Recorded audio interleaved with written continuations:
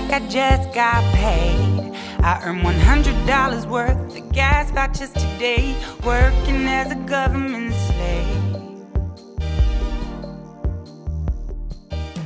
When money gets a little bit tight, we hold on tight.